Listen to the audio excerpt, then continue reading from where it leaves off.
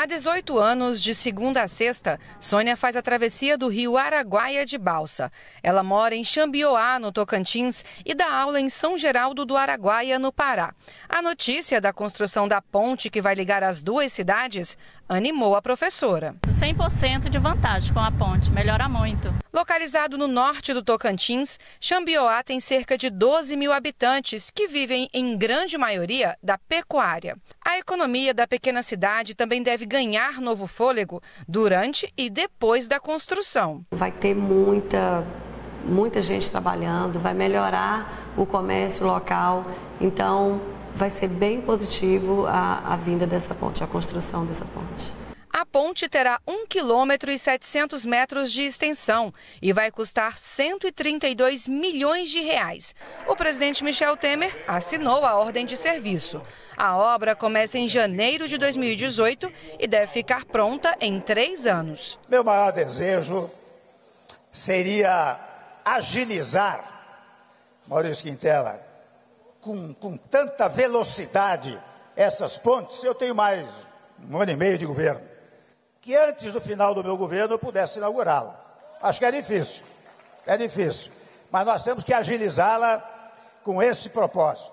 Conhecida como rodovia transbrasiliana, a BR-153 é fundamental para o escoamento da produção da região que engloba os estados do Maranhão, Tocantins, Piauí e Bahia, chamada de Matopiba.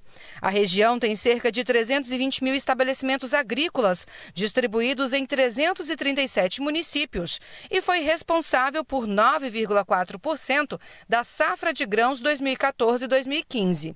A interligação vai beneficiar diretamente diretamente cerca de um milhão e meio de pessoas e gerar empregos na região. Fica bem mais fácil para você a questão de frete, porque aí você já não paga é, travessia de balsa, essa coisa toda, então já se torna mais barato. Por dia, cerca de 500 pessoas e 150 veículos fazem a travessia do rio Araguaia por essa balsa. Nas horas mais movimentadas, a espera pela travessia pode levar até duas horas. Nós vamos acompanhar o Orlando Sales, que está saindo de Xambioá para São Geraldo do Araguaia. Quem vai acompanhá-lo do outro lado é a repórter Gabriela Noronha.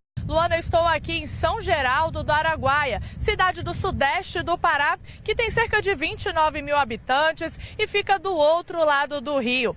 Entre o tempo de espera e travessia, o Orlando demorou cerca de 40 minutos. É isso mesmo, Orlando? Você acha que com a construção da ponte vai diminuir esse tempo de travessia do rio? Com certeza, vai ser de suma importância para todos nós, né?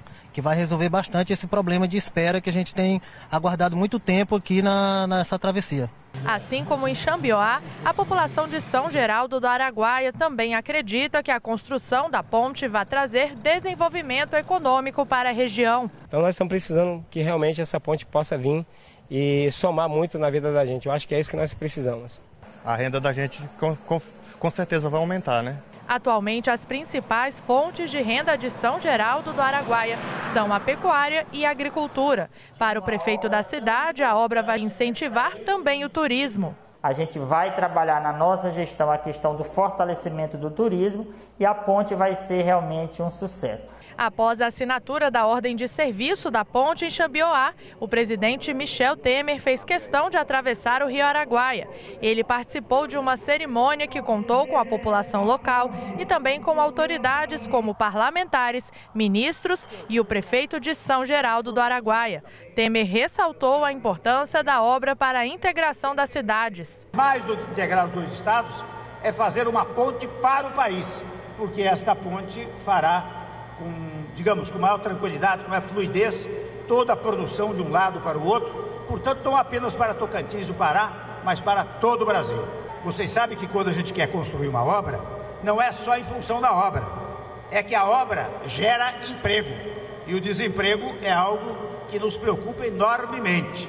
Então eu disse lá e digo aqui, digo aos aqueles que ganharam a concorrência, que vão construir a ponte, contratem o pessoal desta região, porque aí você combate o desemprego nesta região.